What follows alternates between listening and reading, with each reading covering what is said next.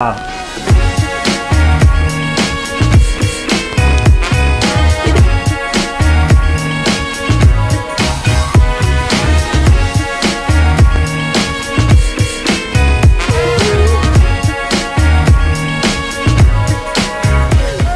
doit pas être tellement agréable d'entendre quelqu'un manger du popcorn, hein? Bon lundi soir, j'étais presque en retard, imaginez-vous. Euh, je me suis grouillé pour arriver parce que j'étais nonchalant un petit peu, une petite affaire. On a un beau programme à soir. Sans blague, je suis, je fier. Je, ben, je pense que vous allez aimer ça. Euh, regardez, ça craque plus. Ça avait besoin d'un petit, euh, petit coup de clé à l'une-key. Fait que ça ne craque plus pantoute. Est-ce qu'il mouille par chez vous? Est-ce qu'il mouille par chez vous?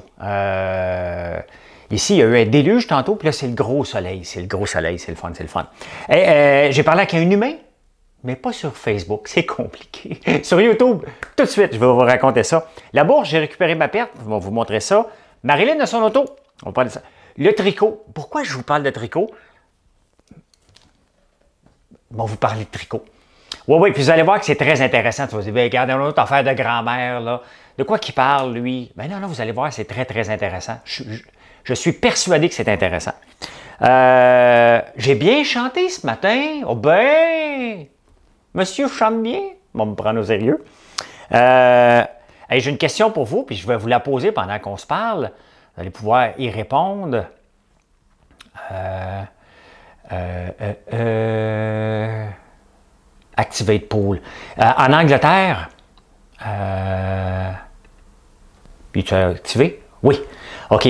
En Angleterre, ils veulent peser les enfants euh, euh, pour euh, contrôler le, leur embonpoint. Un enfant sur trois euh, souffre d'embonpoint, un sur cinq est obèse. Donc, je vous pose la question, vous répondrez. Vous répondrez à ça, puis on va en discuter ensemble. Et j'ai trouvé un magazine qui a mon âge. Je vais vous montrer ça. Je vais vous montrer ça. Comment ça va? Comment ça va? Comment ça va? Je suis vraiment euh, une bonne journée. Une très, très bonne journée. Ben oui, j'ai parlé avec un humain. Ah, mais avant toute chose, avant toute chose, sans blague, là, vous avez aucune idée comment vos likes ou euh, vos, euh, vos abonnements à ma chaîne YouTube font une grosse, grosse, grosse différence. Je me force à vous, je m'efforce, je me force pas parce que c'est pas, pas forcé, mais j'essaie de trouver du contenu qui va vous divertir, qui va vous euh, enrichir, que ce soit une photo, que ce soit une, vidéo. Et ben, quand vous vous abonnez, ben, ça fait une différence parce qu'il est partagé à plus de monde. Facebook, mine de rien, là, euh, le nombre de views sur ma page Facebook a doublé depuis une semaine que je vous le demande. Puis je sais que c'est fatigant, mais euh, je vous remercie pour ça. C'est votre petite contribution euh, au fait que, bon, euh, je, fais ça pour moi et pour vous, mais vous m'aidez beaucoup. Hey, salut Pierre Audet, Firmin Larivière, La Lumière, excuse, Hélène Green, Julie Rainville, Charles Bourgeois, Éric Gosselin, Marie-André Boivin, c'est toi qui me dis que je chantais bien. Isabelle Rio, salut, salut. Robert Lesage, bonsoir. Diane Laplante. C'est ça. Je me demandais qu'est-ce qui me manquait. J'avais oublié de vous dire bonjour. Euh, Nathalie tu m'interromps dans mon rattrapage de tes vidéos. Ouais, mais là, j'en ai fait beaucoup en fin de semaine. Quand je suis inspiré, là, ça part. Et là, maintenant, la fin de semaine, je vais vous en faire au moins deux sur François Laferme. C'est des vidéos que vous aimez beaucoup euh, et que j'ai beaucoup de fun à faire parce que je me prépare en conséquence et ça va m'amener tantôt à vous parler de tricot. de quoi? De quoi qui se mêle, lui, parler de tricot? T'as jamais tricoté? J'ai filé de la laine quand j'étais jeune. Euh, Je bois Maple 3 à la mangue. Salut, Pierre Lambert! Mon père, j'ai dit bonne fête en retard. Hier, il ne m'a pas répondu. Il fait son indépendant. Hey, 63 à date est contre euh, le fait de peser les enfants. Euh, déluge et soleil maintenant. De- Robert, si je me souviens bien, tu es à Trois-Rivières, dans le coin. Hein? Non, HM contre la météo, non, cher François. HM contre HM, je comprends pas. Il y a des tornades à il pleut très fort en Abitibi. T'es en Abitibi, tu, Stromgol? Je pensais que t'étais en Outaouais. Euh, Brigitte, salut, salut, alerte tornade. Bon, euh, quand, des- quand l'État décide pour toi, c'est de l'intrusion dans ta vie privée. Ah oui, ok, ben vous parlez du... Euh, voir le groupe Spotted Mascouche, il y a quelques vidéos, pas la page, mais des groupes publics. Ah ok, vous vous parlez entre vous. Ok, vous vous échangez ça. Moi aussi, j'ai filé de la laine avec ma mère. Ouais, ça, j'aimais ça, filer de la laine, moi. On avait un vieux rouet à pédale, hein? Mais là, je me suis tanné. Il y a un site qui s'appelle The Woolry, une transaction en ligne, et je veux transformer la laine euh, des moutons. Euh, je pourrais vous faire une petite chanson, mais c'est le matin que je fais des chansons. Sinon, je vous chanterais que la laine des moutons, c'est nous qui la tondons. Hein? Et la laine des moutons, c'est nous qui la tondons. Regardez, je peux bouger. Mon TDAH peut se faire aller, ça craque plus. J'avais tellement de misère à m'en retenir. Salut François, nous aussi, une, alerte tornade, OK? Diane Plage, j'ai vu ton message, t'ai répondu, tu peux envoyer un... Quand vous avez des questions sur vos colliers, ça peut arriver des retards, malheureusement, il manque un item, euh, je vous envoie toujours un info. Vous pouvez m'écrire, ça me fait plaisir.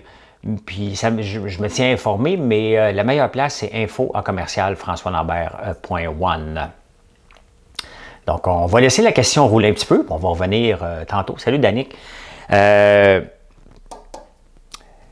un matin, j'avais une question parce que je voulais m'assurer que sur YouTube, c'était bien 10 000 pour pouvoir taguer mes produits comme on fait dans Facebook. Et j'ai vu chat, j'ai pesé dessus. on m'a dit que j'étais le deuxième en ligne, on m'a répondu. Le gars, super gentil. Euh, il m'a même demandé à la fin, ben, je le savais que c'était 10 000, je voulais juste jouer au nono des fois qu'il pouvait me l'activer avant. Et c'est pour ça que je, vous, je la chale pour que vous vous abonnez à ma chaîne YouTube. Euh, parce que ça fait une différence dans notre entreprise. Sans blague, là, Facebook qui me bloque, euh, qui m'empêche de, faire des choses, ça impacte mon entreprise. J'ai été capable de me revirer sur un 10 euh, en vous demandant et ça a changé complètement. J'ai plus d'impact. Mais je veux faire la même chose sur YouTube. Et il m'a répondu, puis à la fin, il dit Qu'est-ce que je pourrais faire pour toi? En français? Ben, j'ai dit Tu pourrais me faire la vaisselle ben, Il dit Avec plaisir. Il n'est pas venu. Il n'est pas venu. Euh, j'ai envoyé un message à Facebook euh, tantôt parce que euh, ça a l'air qu'il faut que j'authentifie mon entreprise. Donc, je viens pour l'authentifier, c'est gris. je demande à quelqu'un, je vois le chat sur disponible, je chatte avec quelqu'un, il me dit Ah! Oh! Pas pas t'aider, pas moi qui peux t'aider. Il n'y a jamais personne qui va me recontacter. Hein. Facebook, on dirait que plus tu es écrit, moins ils te répondent. Bizarre un peu comme. Mais bon, regardez, ça marche sur YouTube, donc je me plaindrai pas. Vous avez du bon contenu. J'essaye d'avoir du bon contenu, je pense. Euh, la semaine prochaine, euh, la fin de semaine prochaine, j'ai déjà le goût de vous montrer mon mur de roche avec le pont qui, si on est capable de traverser. Je vais vous montrer le houblon aussi. Je vais vous montrer ça. Et si vous avez d'autres idées que vous voulez voir, bien, juste à me le dire. Ça va me faire plaisir de faire des, François à la ferme. Euh, ouais, le gros zéro pour le service à la clientèle sur Facebook. Et Jean-Daniel, un gros zéro me fait penser justement, c'est comme un gros zéro. C'est euh, Yolo Molo qui chante ça, je pense. J'ai besoin de toi pour ma commandite, ma commandité sur YouTube. Je suis aux îles et je vis dans ma vanne. Hey boy, Luc, des commandites, j'en fais pas. Hein? Il y a un gars qui m'a écrit l'autre jour, il dit François, je viens de commencer à faire du parachute. Ça coûte cher. Et j'ai pensé à toi, tu pourrais me commanditer.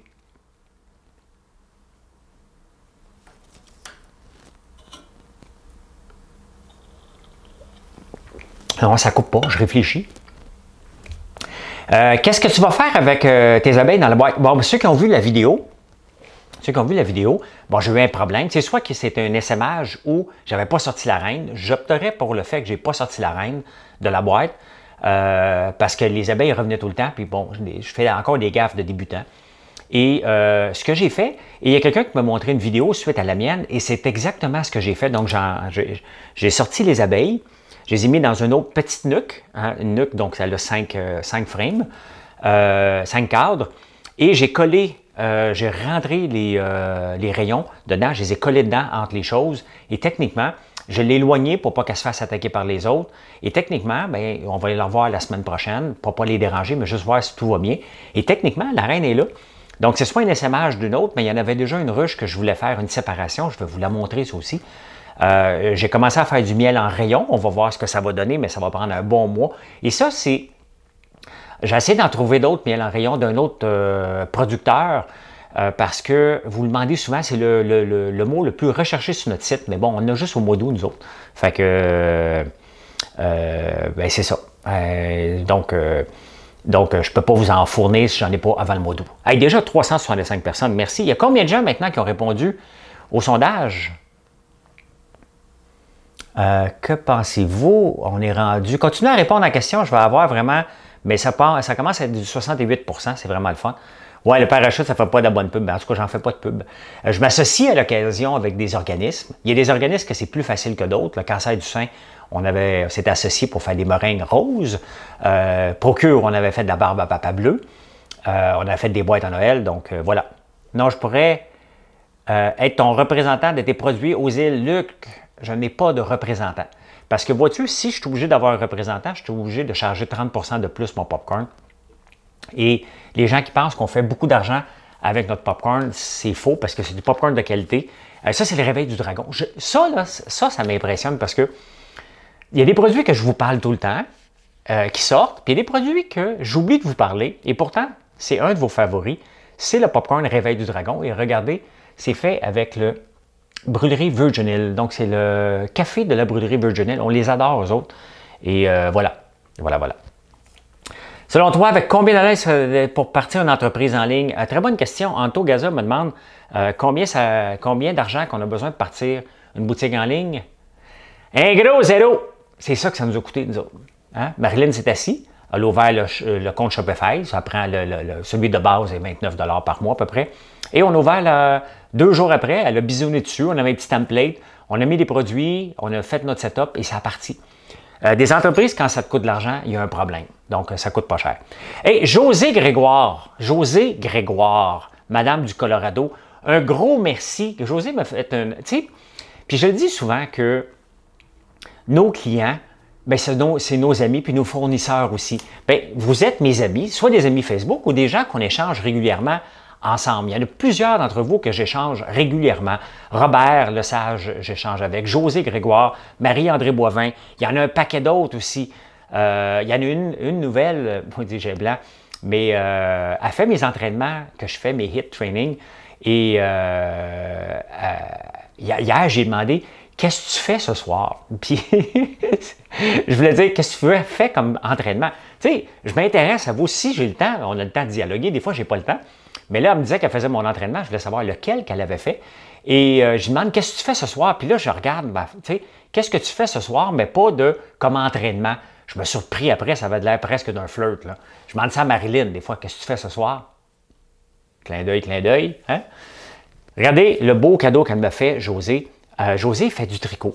Beaucoup de tricot. Et elle m'a fait un, protège vert, un protège euh, tasse pour le matin, parce que le matin, ça cogne. Hein?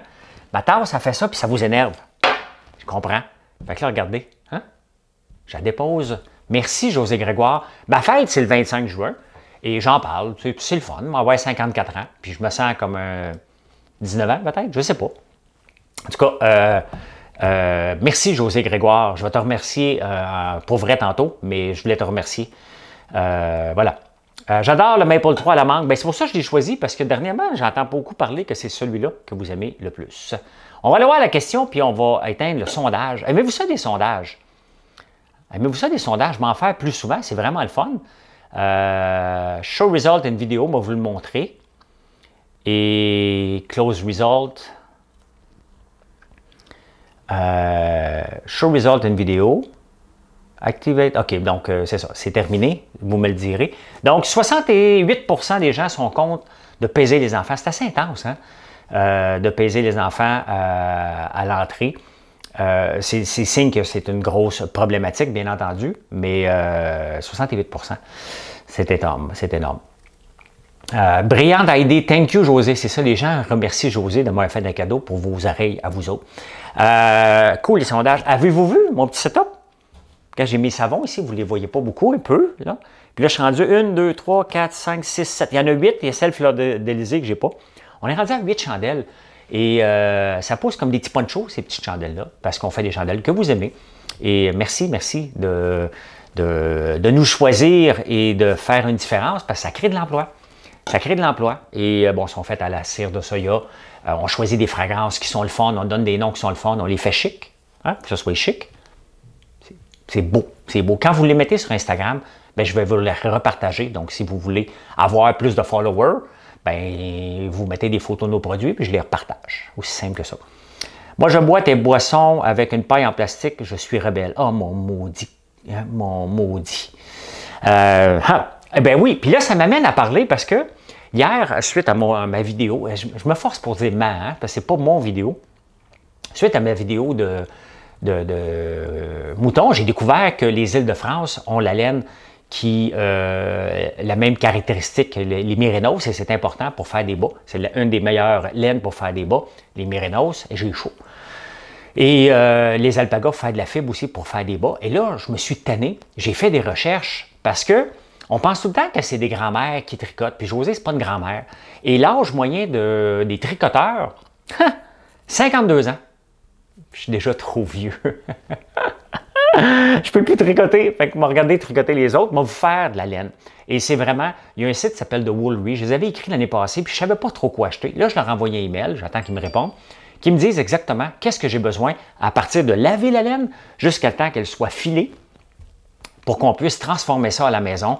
Et euh, donc, on va faire deux types de laine, pas tout de suite. Là. Je vais vraiment m'équiper, mais comme je fais pour mes autres affaires, tranquillement, avec des, petits, euh, des, des, petites machines, puis un peu à main. Puis on va voir ce que ça va donner. Mais euh, je trouve ça le fun de faire ça et de vous offrir ça sur le site éventuellement. Donc, puis José, tu vas avoir un contrat.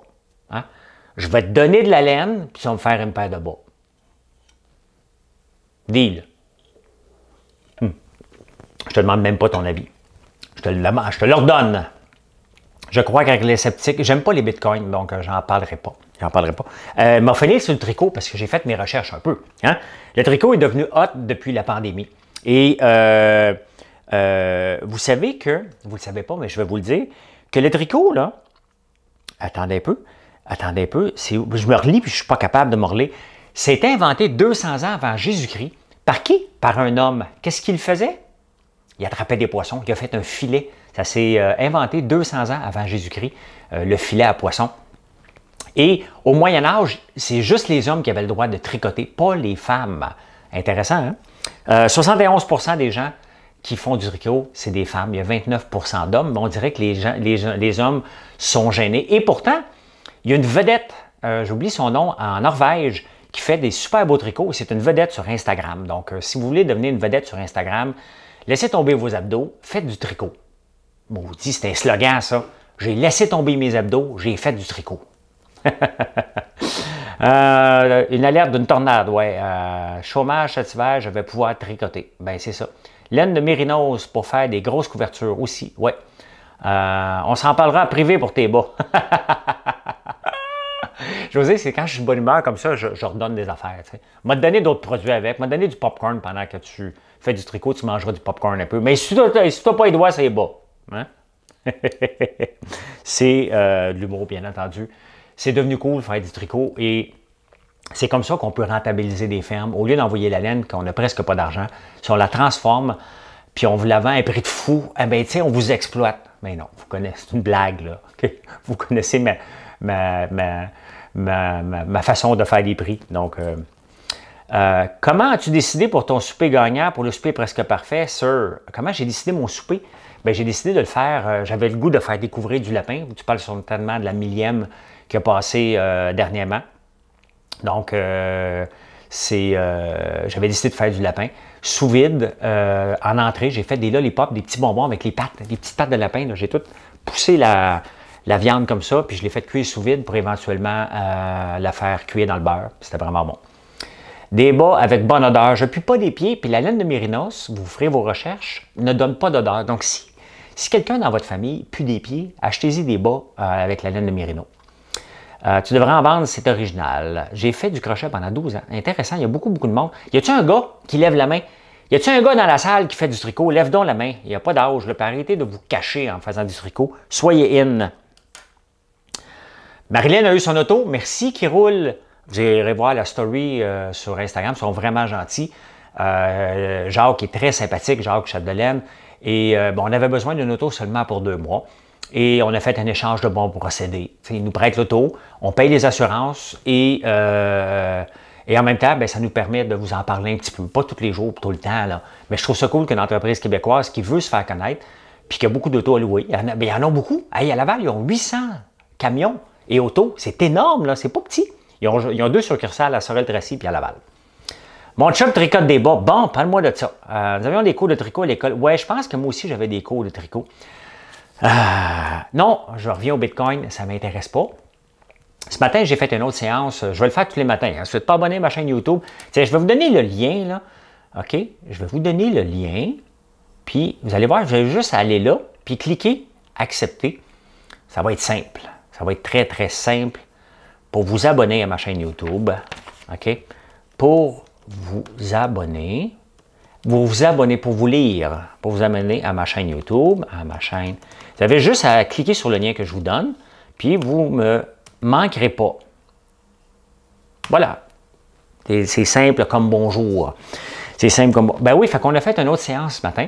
J'ai acheté trop vite, euh, ça a descendu, et finalement, vers midi, j'ai récupéré mes pertes, puis redescendu par la suite. Et sur papier, c'était du fictif, là, mais ça a donné quand même 1840 pièces US. Donc, euh, je suis content de ma journée. Demain, on va recommencer, on va regarder ce qu'il y a. Et ça me permet d'échanger avec ceux qui aiment juste la bourse. On fait ça le matin. De 9h25, ce matin, on était jusqu'à 10h15. Je ne suis pas pressé. Vous embarquez, vous débarquez. Je suis là devant mon écran. Euh, pourquoi ça ne t'intéresse pas le BTC, Stéphane? Parce que la plupart des entreprises derrière ça, la plupart des gens qui utilisent, parce qu'il faut l'utiliser, hein, font de la fraude ou du blanchiment d'argent. Et euh, il n'y a pas d'utilisation. El Salvador utilise le Bitcoin maintenant, mais les gens n'ont même pas d'argent pour payer les frais de transaction du Bitcoin. Donc, euh, c'est complètement ridicule. Quand ça va venir une vraie monnaie utilisée un peu partout, on verra. Mais pour l'instant, je ne touche pas à ça. Euh, je vais te le dire plus tard. Je ne sais pas ce que tu vas me dire, Marcel, mais merci. Je n'ai pas encore de compte YouTube. Je vais devoir en ouvrir un juste pour. Ben non, mais c'est parce que tu vas pouvoir me suivre mes péripéties. Comment va Coca-Cola? Ah, une bonne question. Je suis actionnaire de Coca-Cola, pas comme Warren Buffett quand même, mais depuis 10 ans, 12 ans, je réinvestis les dividendes non-stop. Euh, il avait planté la semaine passée parce que euh, je ne l'ai pas, mais je l'ai checké tantôt. Il a remonté. Puis il n'a pas remonté, il était presque à 60, il est peut-être à 55, parce que Ronaldo et d'autres joueurs ont décidé de tasser la canette de coke pour avoir une bouteille d'eau. Et euh, tout de suite, quand Ronaldo a tassé la bouteille de coke, paf! Ça a tombé de deux piastres d'un coup il a fait perdre 4 milliards en valorisation boursière en tassant une canette de coke. Ça, c'est puissant. Euh, est bon pour acheter leurs produits, le site à bas prix. Euh, Salut François, je vais te lire plus tard. Ah, te dire, te lire. Ah, OK, OK. Merci, Marcel. Euh, Paiser les enfants, c'est répondu, 108% Vous avez vu mon cadeau, je l'ai marqué, le cadeau de... Hmm? Êtes-vous amateur de pêche? Pas la pêche, le fruit. Pêcher.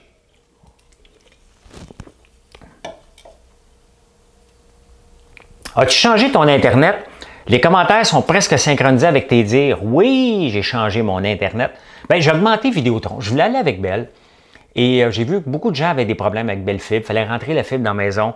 Et je ne voulais pas avoir de problème. Là. Fait que j'ai pas l'Internet encore à full vitesse, mais j'ai augmenté. Donc, j'ai du 22 en upload maintenant ce qui est beaucoup quand même. Et euh, j'ai 100 en download, donc euh, c'est parfait, parfait, parfait. Tu es une fille de bois. Euh, merci beaucoup d'avoir pensé à moi, Coca-Cola. Ah, regardez, une fois, il y a quelqu'un qui était décédé, puis on avait été voir sa maison avant qu'elle soit vendue, puis il y avait un paquet de magazines, et j'ai demandé au propriétaire de pouvoir en prendre un, parce que celui-là, c'était juin 1967. Il valait 35 cents Outdoor Life. Et, euh, et 1977, euh, ben, c'est drôle, les, photos, c'est comme du cartoon. Et on fumait dans ce temps-là. Une publicité de cigarettes. J'imagine que ça, éliminait, ça tassait les, euh, les, les, moustiques, ça. C'est le fun. C'est le fun de regarder des vieux magazines. Je le garde précieusement. Il n'est pas à vendre. Il n'est pas à vendre, c'est juste pour moi. c'est juste pour moi. C'est juste pour moi. J'adore les pêches. Oui, mais. Ah, j'en ai mangé euh, en tournage l'autre jour. Il y avait des pêches, j'en ai mangé. Euh, moi, j'ai déjà été un chasseur. J'allais chasser le chevreuil, puis à un moment donné, je me suis dit, mais qu'est-ce que je fais ici? J'étais dans le bois, là, puis je me suis dit, qu'est-ce que je fais ici? Ça me tente pas de les tuer. Ben, arrêtez ça. J'ai jamais retourné euh, à la chasse depuis ce temps-là. J'aime mieux photographier, sortir le drone super haut. Ça fait longtemps que je ne vous ai pas montré des photos du drone, euh, des vidéos de drone. On va faire ça. Puis, euh, mais euh, j'aime mieux photographier. Puis si je veux manger un steak, ben, je ne veux pas avoir envie d'avoir un chevreuil au complet dans mon congélateur. Fait que.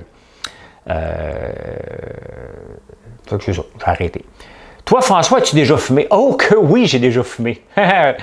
je pense que ça va à peine que je vous raconte l'anecdote, puis mon père est là, il va rire en l'écoutant. Mais il est là, il n'est pas, il est pas là, il est là. J'espère qu'il a mis ses appareils. Merci Eric d'avoir préparé ma commande. Ah, ben Nathalie, merci. Ben, c'est, tu replies justement Eric qui est là. C'est le fun, les employés sont sur le chat en même temps. C'est vraiment le fun. Oui, à 11 ans. Il y a un gars qui s'appelle, euh, qui s'appelait, il est, peut-être décédé, là, mais je ne sais pas. Je pense, en tout cas, il n'est plus dans la maison, la curatelle publique, il n'y avait pas d'enfant. Il s'appelait Pierre Lamoureux, qui habitait à côté de chez nous. Euh, ben, pas loin de chez nous, mais à côté de notre terre. Mon, ma soeur Véronique, ma soeur Geneviève et moi et mon cousin Bertrand, on avait été fumés chez eux en cachette, tu sais.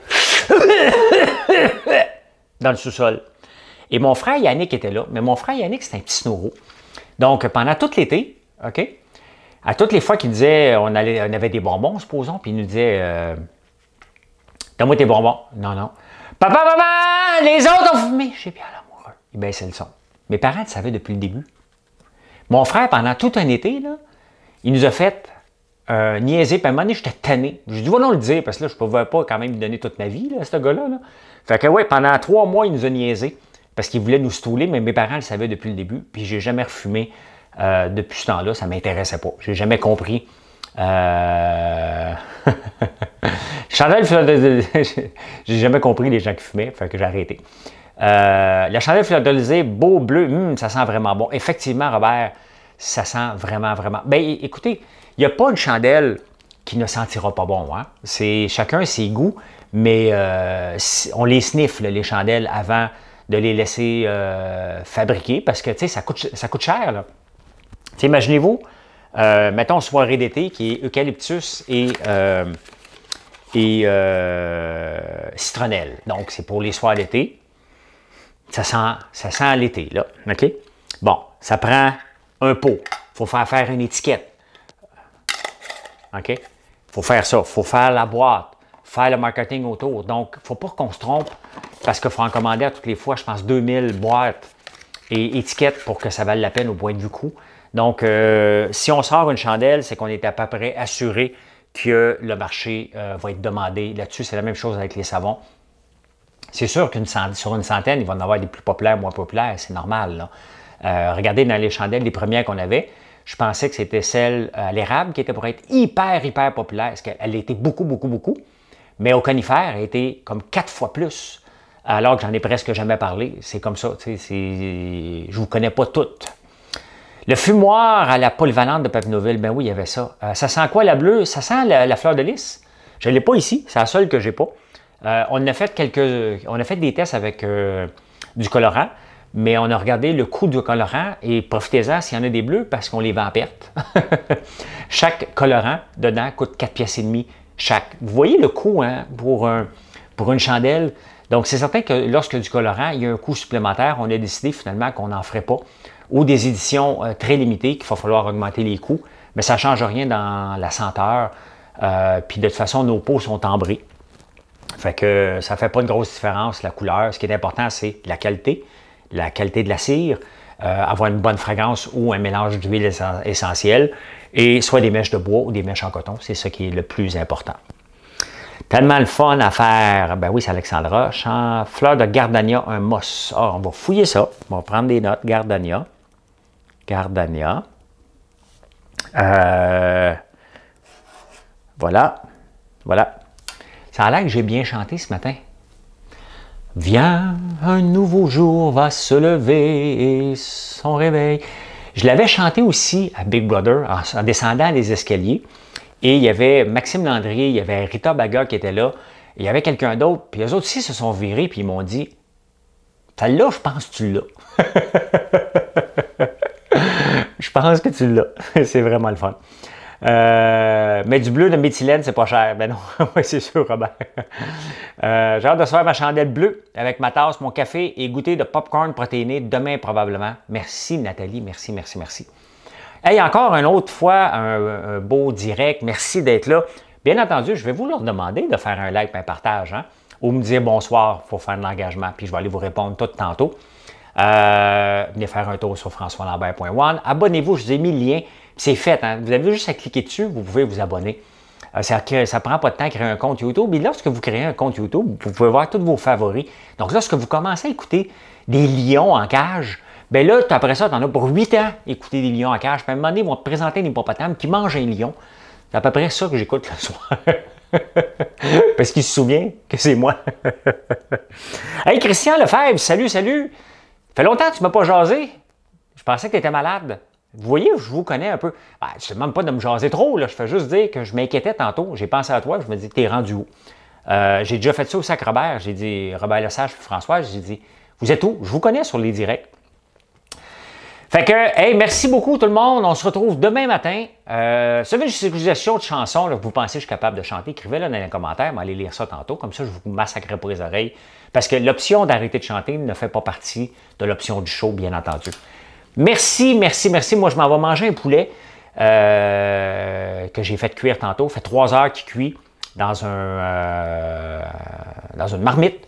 Et on va manger ça avec des légumes, d'attitude bien simple. Puis ce soir, vous regarderez mon Instagram, je vais faire un entraînement, un hit training de 20 minutes. Ça va être tough. Euh, Alexis veut le faire avec moi, mon gars, et on va faire 20 euh, minutes de slam ball. Donc 30 secondes, on va slammer la balle, euh, slam la balle sur le plancher. Je vais vous le montrer sur Instagram plus tard. Bye tout le monde, bonne soirée, merci d'être là.